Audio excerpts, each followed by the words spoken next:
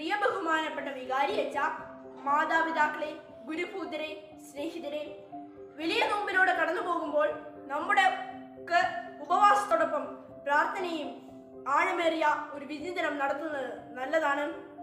പ്രാർത്ഥിക്കുക എന്നത് ദൈവത്തിന്റെ തിരുമുഖം നമുക്ക് കാണിച്ചു തരുന്ന ഒരു അനുഭവമാണ്. പ്രാർത്ഥിക്കും തോറും നമുക്ക് നമ്മെ കുറിച്ച് തന്നെയുള്ള അറിവ് ലഭിക്കുന്നു. നാം തന്നെ സൗഖ്യമുള്ളവരായിത്തീരുന്നു.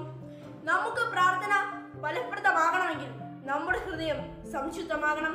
വിധേയത്വവും വിദ്വേഷവും പകയും അസൂയയും കോപവുമൊക്കെ നിറഞ്ഞ അന്തരീക്ഷമാണ് നമ്മുടെ ഭവനത്തിലും ഹൃദയത്തിലും ഉള്ളതെങ്കിൽ നമ്മുടെ പ്രാർത്ഥന ദൈവത്തിന് എങ്ങനെ സ്വീകാര്യമാകും? നമ്മുടെ ഹൃദയത്തിന്റെ അന്തരീക്ഷം തെളിഞ്ഞതാകണം. എങ്കിൽ മാത്രമേ പ്രകാശമായ ദൈവത്തെ നമുക്ക് കാണുന്നതിനും ദൈവ വെളിച്ചത്തിലേക്ക് നമ്മുടെ ജീവിതത്തെ വളർത്തുന്നതിനും നമുക്ക് സാധിക്കുകയുള്ളൂ.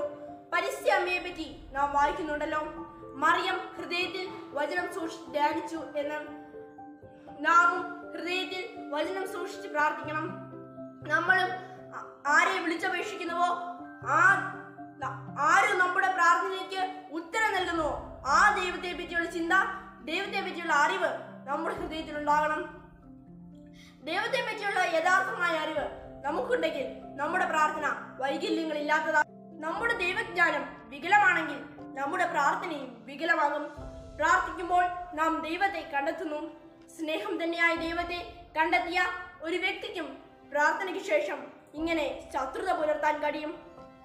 പ്രാർത്ഥിക്കുമ്പോൾ പോലും കോപിക്കുന്നത് ദൈവജ്ഞാനം ഇല്ലാത്തത് കൊണ്ടാണ് ദേഷ്യത്തിൽ ജീവിക്കുന്നത് കൊണ്ടാണ് ദൈവത്തെ അറിയും തോറും നമ്മുടെ ചിന്ത സംശുദ്ധമാകുന്നു.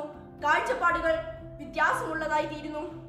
കർത്താവേ കർത്താവെ എന്ന് വിളിച്ചപേക്ഷിക്കുന്നവനല്ല എന്റെ പിതാവിന്റെ ഇഷ്ടം നിറവേറ്റുന്നവനാണ്. എന്റെ യഥാർത്ഥ ശിഷ്യനെന്ന് അവിടുന്ന് അരുൾ ചെയ്തിട്ടുണ്ടല്ലോ.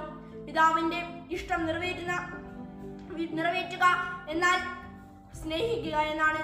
സ്നേഹം എന്നാൽ പ്രാർത്ഥനയെയും വിശ്വാസത്തിനെയും സമുന്നതമായ പടിയാണ്.